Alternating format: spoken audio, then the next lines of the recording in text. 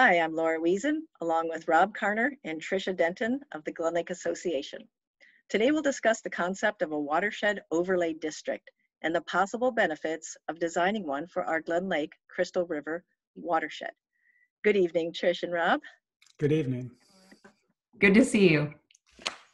First of all, what is a watershed overlay district? Well, I like to think of townships having master plans and they have uh, basic zoning that governs each township. And what an overlay district does is it adds supplemental zoning regulations. In other words, uh, there are things that you can apply to the existing zoning that allows you to have a specific target area like the Crystal River watershed, which behind me you can see the red line. That's where all of this applies. And then also the goal would be to preserve and protect the groundwater and the surface water. Mm-hmm. Yeah, I like that map that Rob's got behind him there. That's the that, that's the best way I think to tell people about what is an overlay anyway. Mm-hmm. Well, it's an enhanced uh, set of provisions that fill gaps in uh, existing zoning. You see, there's there's four different colors on that map be, behind him too. There's four different townships. We each have you know good zoning, uh, but s- slight differences. Um, and this overlay would kind of uh, create a uniform, simplified uh, version on top of that existing zoning. So mm-hmm. thanks for having the map up today, Rob. Yeah, you mm-hmm. bet. I yeah, that map maps. is helpful. Um, so you're saying it would be one uh, consistent set of provisions that would go across all four of those different townships? We hope that would be the case. Okay, good. So why do you recommend a watershed overlay district for our area? Well, currently the existing zoning uh, is good for most of the townships, but we'd like to make it better. Uh, so this is putting our best foot forward for long-term protection of the groundwater and the surface water. Mm-hmm. And why a watershed overlay district? Because that's how water functions. Water does not function within the boundaries, those those square angular lines of the townships on the map behind Rob. That's not how water works um, water works in a in a in a watershed and all the water is connected so we need to protect um, all the parts of the watershed because what happens on the land anywhere affects the water everywhere within the watershed well mm-hmm. said well said mm-hmm. so would a watershed overlay district prevent development you know that's a common misconception and the answer is no uh, we expect that there will be development in the next 10, 15, 100 years from now. We'll always have development. The question is, how responsible will it be? How can we be tweaking what happens on the land? Because if you think about it, what happens on the land is what's going to impact the water. Because Glen Lake is a spring fed lake. And so if we contaminate groundwater, we contaminate the lake. So this is really designed to uh, make sure that not just development is is uh, letting go unbridled, but it also talks about responsible development. Mm-hmm. And I, I, think about why do people want to live here? What it, you know, what are the reasons that people would want to develop a people, piece of property to live here, to enjoy uh, this beautiful place that we get to live? Um, some of us are lucky enough to be year-round residents; others are part-timers, but regardless, uh, we come here because of the character of this place. And so development needs to keep pace with that as well and be mindful of um, allowing for that you know that personal enjoyment of a person's property while also protecting that enjoyment for the mm-hmm. folks who are developing and for future generations mm-hmm. protecting our investments yes mm-hmm. Has this been done elsewhere?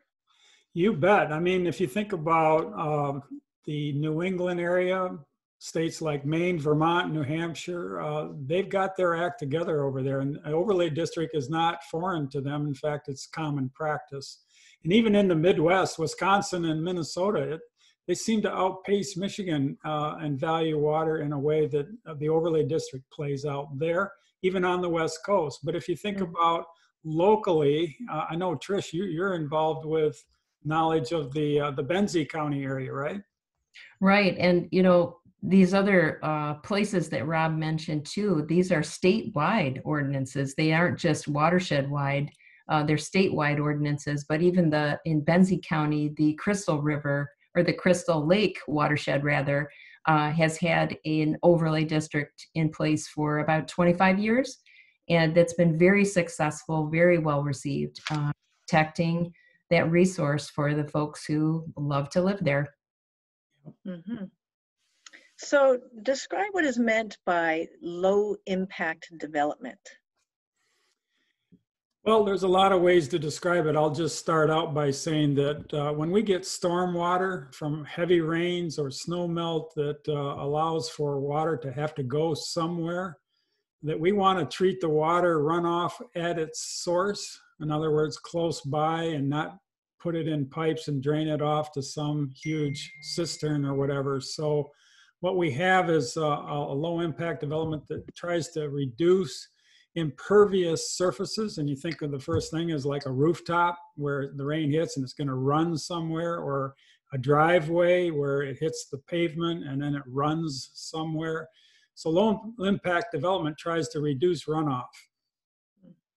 And that all those things that rob just talked about can seem really complicated uh, and as a as a property owner somebody looking to develop my property and wanting to do it in a way that's going to protect my investment, uh, protect water quality, be beautiful and enjoyable for my family. Uh, that can seem like a really daunting process to navigate. And the thing with low impact development is it pre- provides a framework for streamlining that process, coordinating it um, for the both the zoning administrators, your you know soil conservation district, all those different folks that are involved in that. It provides a like I said, I can't say it enough. Uh, streamlined, coordinated, a real benefit to the property owner to have that kind of a framework in place. Mhm. So I'm a property owner in the watershed. How would a watershed overlay district impact me and my property?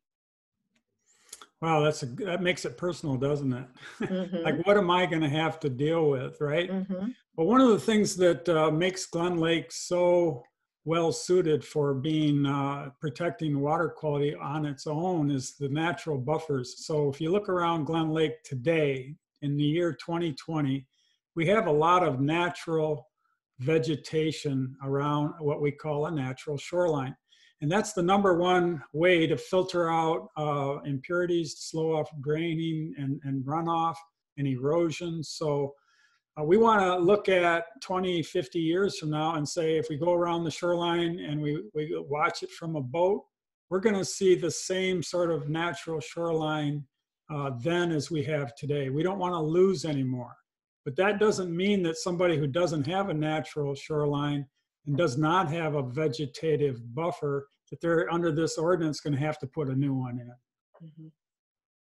They, you know, they might want to add one because it, it will add value to their property and protect it from erosion and all those harmful impacts. But certainly, uh, anyone's existing property would be grandfathered.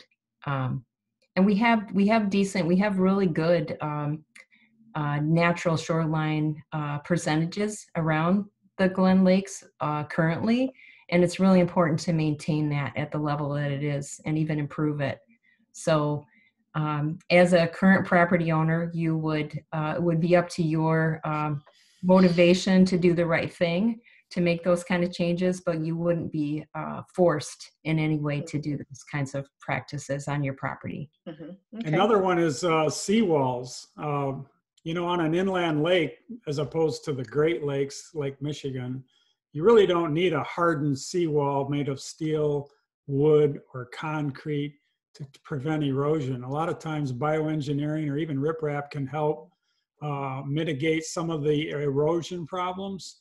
Uh, but this ordinance, uh, sorry, ordinance, but uh, provisions would strongly discourage the use of building new seawalls and adding to the 15 seawalls that we already have on our lake today. Yeah, like Rob said, they're just they they don't really belong on inland lakes. Um, I think uh, there's so many other things that we can do. uh, but it wouldn't require anyone who has an existing structure to spend time or money um, taking that out. Um, Okay. Yeah, So that brings up that concept of grandfathering. Even though I'm a grandfather, it doesn't mean I have a grandson, Blaze. What it means is uh, if, if you are not in compliance with the overlay today, you're not going to be obligated to make major changes. This is all about long-term future development around Glen Lake to protect it. Mhm. So would this watershed overlay district place a, a burden on the existing townships in our community? Well, you know, this uh, task force that we put together included uh, our local zoning administrators, and they've had a chance to look at this overlay district as it as it's been crafted and proposed, and they don't see it as overreaching, overbearing, and unenforceable. They really are buying into it. Yeah, the words that the words that I um, realistic, reasonable, and enforceable. Those are three key words to any any sort of, sort of a project like this. And because those folks that that, that deal with this, you know, on the ground, day to day, um, uh, were, have been involved in this process. Uh, the like I said earlier, um, I think they they they're welcoming something like this because it would actually make their job easier to have a more uniform um, set of uh, regulations that they'd have that they'd be that they'd be working with to guide property owners and um, developers and things like that. So Yeah, and Laura, to your point earlier, this helps uh, preserve not just the water quality, but the land values as well. And that's important because, you know, what do we have if, if Glen Lake turns uh, to a green lake and it's become overpopulated, overpolluted? We got all these uh, runoff problems. And, it, and, and, and the lake goes to uh, much like the mediocre lakes of, of Michigan, and it's not as pristine. What's the value of your property? This is a real, uh, not just a love for water, but it's a, a property value uh, insurance plan as well. Mhm. Good. So what's next? Well, Trish, what do we want to do? We want to get the word out, don't we? That uh, this is something that we want people to chew on. We want feedback. We don't want to just jam this down people's throats. We've been actually working on this for three years. We're going Mhm. careful and we're moving methodically forward. And uh, we want to get the word out. We want to get feedback. And we want to make sure that when we go into the stages of the planning commission meetings in the fall, and then subsequently the township board meetings, where this will hopefully be uh, enacted in its entirety on all four townships, that uh, people will say, this is, this is exactly what I heard about. I'm expecting this to be the case and there's no surprises. no surprises. And, and we've got a wide variety of resources for people to get more information. We have, we have, we're going to have this video. We have um, a PowerPoint that's uh, really detailed, about a 17 minute long video with narration, with some slides that give that get down into the the meat of um, this overlay district proposal. And we also have a, a podcast you can listen to. Uh, we're going to have a survey. We definitely, like Rob said, we need your input. Um, and we have, a, you know, some supplemental reading materials as well that can be found on the Glen Lake Association website.